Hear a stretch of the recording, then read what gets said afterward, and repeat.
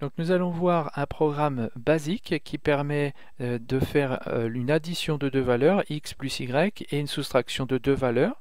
Et ensuite, on fera une comparaison à un seuil. Si par exemple on est au-dessus de 10 pour le x plus y, eh bien euh, on va allumer une LED.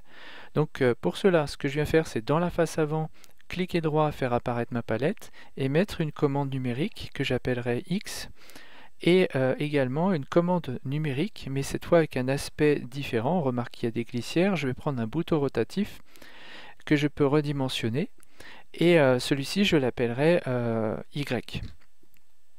On remarque que dans le diagramme, l'équivalent apparaît. Je peux double-cliquer dessus pour faire apparaître le X et le Y.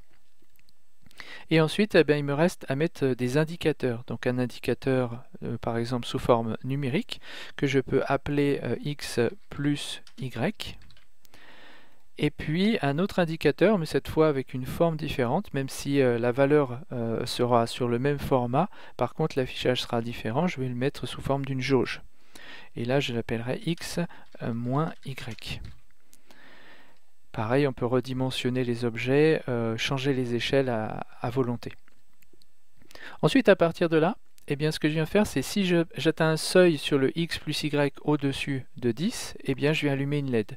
Donc, je vais sélectionner une LED carrée et je vais mettre, euh, si on est au-dessus de 10, à ce moment-là, la LED va euh, s'allumer dans une couleur différente. Pour l'instant, je laisse un carré euh, entre les deux valeurs. Par exemple, allumé, ce sera vert, euh, vert clair ou vert foncé pour éteint. Bien sûr, on peut changer tout ça après euh, à volonté.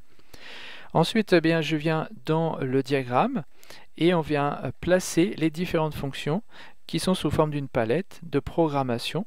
Donc on retrouve les structures ici et puis les numériques. Donc moi je viens additionner deux valeurs. Si on fait apparaître l'aide contextuelle, et qu'on euh, se place sur euh, une des bornes d'entrée des fonctions, eh bien je peux additionner ici x et puis euh, y. Je viens chercher les valeurs.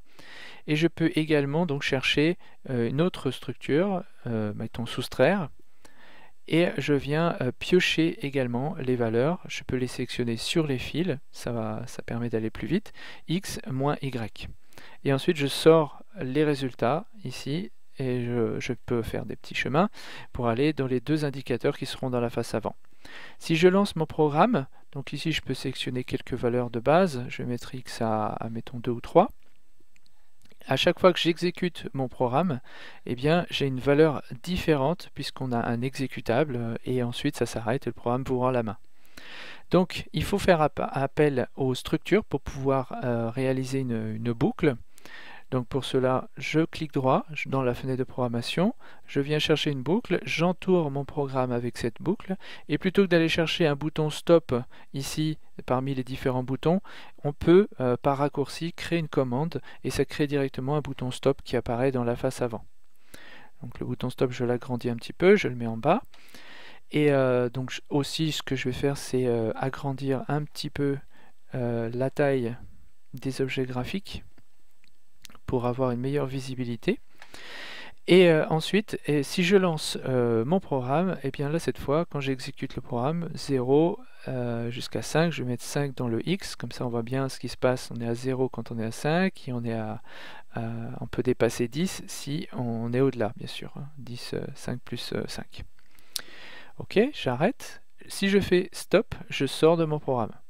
Ce que je peux faire, c'est faire une condition. Donc si on est au-dessus de 10, donc pour cela, soit on fait appel à une structure, une condition qui est, ici, qui s'appelle euh, un if, hein, c'est l'équivalent d'un if, ou alors ce que je viens faire, euh, c'est d'utiliser les comparaisons. Si on est supérieur, supérieur euh, à quelque chose, donc ici x plus y est-il supérieur à une constante, dans notre cas c'est 10, et le booléen est en vert que je viens câbler dans l'indicateur qui est ici.